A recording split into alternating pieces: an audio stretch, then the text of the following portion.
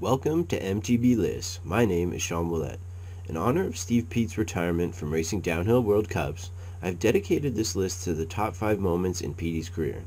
Steve Peat is arguably the greatest downhill racer of all time.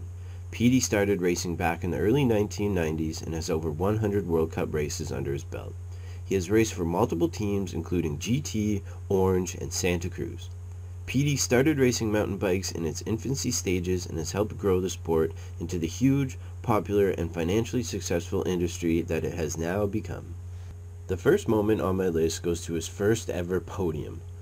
Steve Peat came in second at the 1996 World Cup in Panticosa, Spain. I have this on my list because Steve knew he was a good racer, but this showed him that he could be a great one. The confidence that it gave him helped progress his career and turn him into the elite rider that he knew he should be. Confidence is a huge part of racing, and I'm sure that this is an indication to Steve that he could not only race with the elite, but beat them. Fourth place is reserved for his first ever World Cup win. This comes in at number 4 not only because it was his first ever win, but it also happened on one of the toughest races of the year.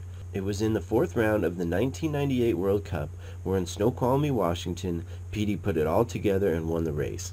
This was a physically demanding course which left little room for error. Most, if not all, riders considered that the toughest race of the year.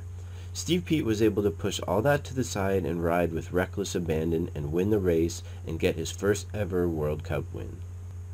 Coming in at number 3 was his second World Cup win, which happened in the first round of the 1999 World Cup in Les Gets, France. I feel this race deserved to be number 3, not so much as for what it did for Peaty's career, but what it did for the downhill sport in general. This was considered the start to one of the most legendary battles in mountain bike history.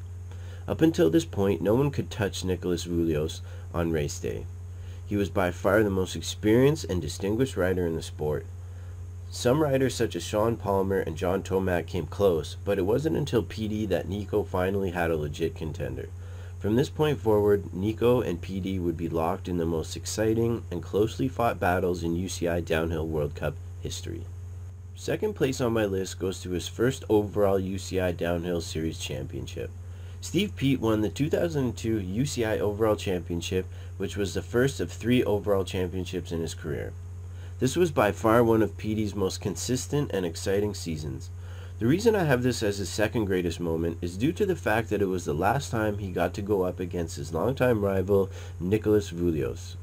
The race served as a symbolic passing of the torch from Nico to Steve as the greatest rider left in the sport. The competition between the two was the stuff of legends. They supplied us with some of the most competitive and exciting battles that the sport has ever seen and may ever see again. If you have followed Peaty's career or downhill mountain biking in general, then it is no surprise what Steve Peat's number one moment is. It of course has to go to his first and only world championship win. Steve Peat seemed like he was cursed when it came to winning at the world championships. He had many chances to win, but he always seemed to come up short. This included an unprecedented four second place finishes. Most thought that it just wasn't in the cards for Steve Peat to win a world championship. He was well into his 30s and had many young superstars like Greg Minnaar, Gee Atherton, and Sam Hill who were dominating the sport. However, Peaty would not give up. It came down to 2009 in Canberra, Australia, when Peaty finally put it all together and won the World Championship. I think you could easily argue that this win wasn't just the biggest moment in Peaty's career, but in the history of mountain biking. The resiliency to stay focused, especially at an age where most riders would have retired, just goes to show the true champion that Steve Peat was. I dare you to watch Steve Peat's Won't Back Down and not get emotional watching him win in Canberra. He meant so much to mountain biking and the mountain bike community.